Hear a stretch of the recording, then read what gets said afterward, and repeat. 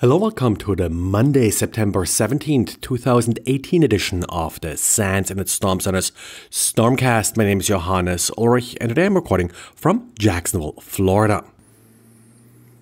This weekend, Didier wrote a diary with some shortcuts helping you to reverse malicious Visual Basic code. What it's mostly about is trying to decipher these obfuscated strings that are typically passed to create objects.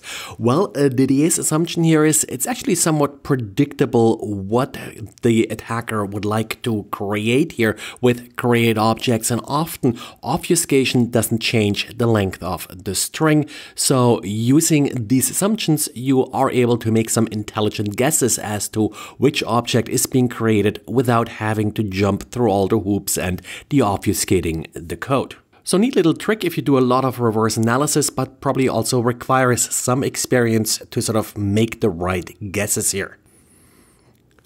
But then we also have a question for you listening to this podcast or reading our blogs. Didier, for a long time now, is seeing in his weblogs an odd user agent. That user agent is UA Tools Random. This looks like a function, a variable that wasn't properly expanded as the attack tool was run. So really looks like a, an attempt to create a random user agent that failed. So if you have any ideas, which attack tool could create a string like this? Well, uh, please let us know. And then we got a new denial of service attack against Safari. Now, typically crashing a browser isn't really all that exciting, happens quite often, but this one is in particularly devastating for iOS, where it actually reboots the entire phone. On desktop versions of Safari, it appears to, at least under some circumstances, lock up the browser. There are also some reports that this may affect some other browsers. For example, Chrome if you enable the right development features, or Firefox may be affected by this. Also, there are some reports of Internet 11 on Windows 7 being affected by this vulnerability. So it appears that the vulnerability is actually part of WebKit, which is the Apple rendering library that is included in a lot of other browsers as well. To trigger the vulnerability, all you need to do is visit a malicious website that delivers the right cascading style sheet. Now, Apple, of course, is scheduled to release the next version of iOS uh, this coming week. The latest beta apparently is still vulnerable, so unlikely that this particular vulnerability will be fixed.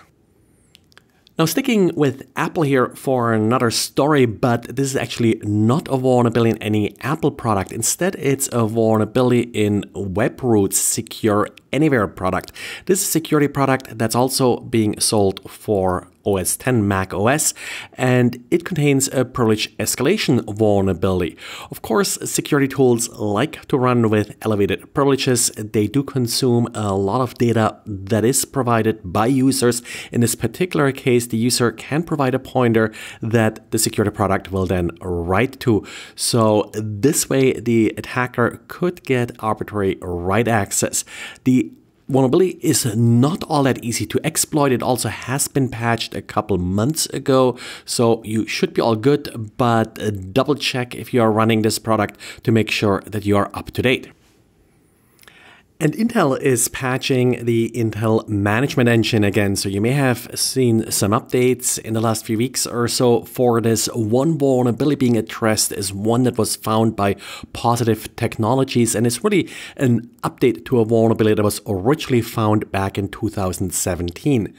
The vulnerable component here is the ME file system or MFS, and it is encrypted. And there are a number of keys being used in order to manage uh, this file system. Now, the original vulnerability in 2017 did leak all the four basic keys that Intel uses uh, to encrypt and decrypt uh, this file system.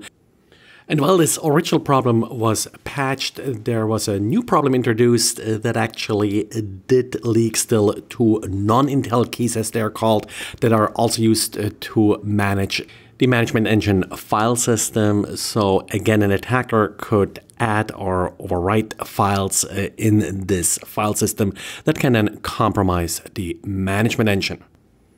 Now, disabling this management engine is tricky if you didn't get your laptop with it already being turned off, but it's certainly worthwhile considering if you are able to do so and if you have never used this management engine.